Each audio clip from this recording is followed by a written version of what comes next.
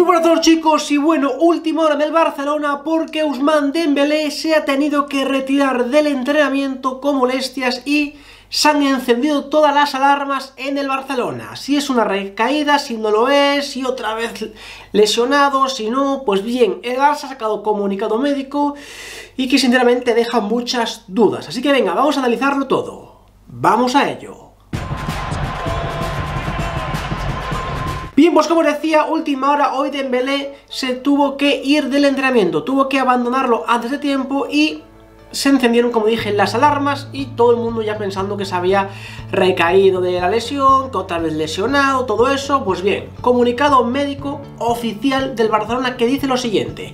Dembélé ha notado molestias en el muslo derecho como consecuencia de la fatiga muscular y seguirá con su trabajo de recuperación. Bien, ese es el parte médico oficial del Barcelona y otras fuentes cercanas a Dembélé, que estuve leyendo por ahí, ¿no? De periodistas que están muy cercanos a él, dicen que tranquilidad, que simplemente, mm, bueno, tiene un poco de fatiga, como bien dicen, muscular, porque no está acostumbrado, que últimamente los entrenamientos son muy duros, son mucho más fuertes que antes, y él, al salir de una lesión y estar en plena recuperación, le cuesta mucho más y tuvo que abandonar pero que no ha recaído de la lesión.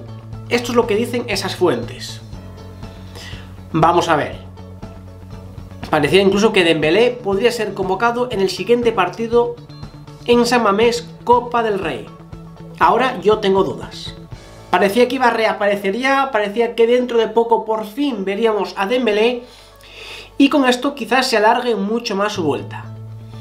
Y pronto sabremos si esto es por precaución o de verdad Dembélé ha recaído y lo están ocultando. Esperemos que no, esperemos que Dembélé vuelva más fuerte que nunca, que vuelva sin, lesión, sin estar lesionado ni nada.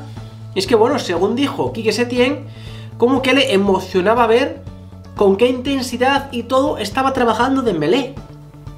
Y es que todo el mundo coincide que ahora es muy profesional, que se ha tomado esto en serio, que se está recuperando muy bien, que estaba trabajando mejor que nunca, vino más fuerte que nunca y claro, justo esto ahora pues sería un palo enorme para él. Esperemos, como digo, que no sea nada, esperemos que de verdad sea fatiga muscular, porque si no pienso que anímicamente Dembélé ya puede sufrir mucho, porque estamos hablando que se cuida más que nunca, que hace todo mejor que nunca, que quiere tomarse esto en serio y vuelve ahora y se recae otra vez de su lesión, él ya diría, ¿qué tengo que hacer yo?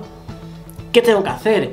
Y entonces ya estaríamos hablando de que es algo genético. Es que su cuerpo es propenso a lesionarse. Esperemos que no, como digo, y habrá que esperar. Habrá que esperar si esto es cierto, si no, y todo dependerá del tiempo que Dembélé tarde en reaparecer.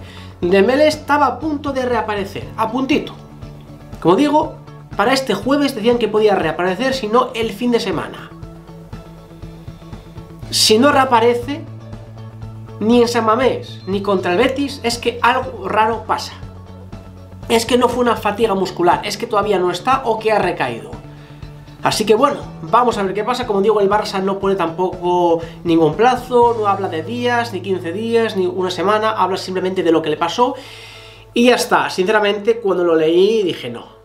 No, porque las primeras noticias eran muy malas, y ahora ya, como digo, varios periodistas y tal han calmado un poco todo y han dado tranquilidad, que no pasa nada, que es fatiga. Así que lo dicho, eh, hay que esperar y ya está. Dejad en los comentarios qué opináis vosotros si pensáis que es simplemente fatiga muscular por su recuperación, que es algo normal, que es un proceso lógico, que pasa muchísimas veces. Yo eso sí que estoy completamente de acuerdo. Cuando estás en recuperación es muy sencillo, es muy fácil que tu músculo se fatigue o pensáis que no, que no es eso y que es una recaída en toda regla de Dembélé. ¿Cómo lo veis vosotros? ¿Qué opináis? ¿Volverá en esta semana Dembélé? ¿O creéis que ahora se va a alargar mucho más? Sería muy mala noticia para el Barcelona que solamente tiene tres delanteros, Messi, Griezmann y Ansu Fati. Y encima no fichamos en enero. En fin, dejadme todos los comentarios, dejarme like, suscribiros y nos vemos en el siguiente vídeo. Venga, un saludo.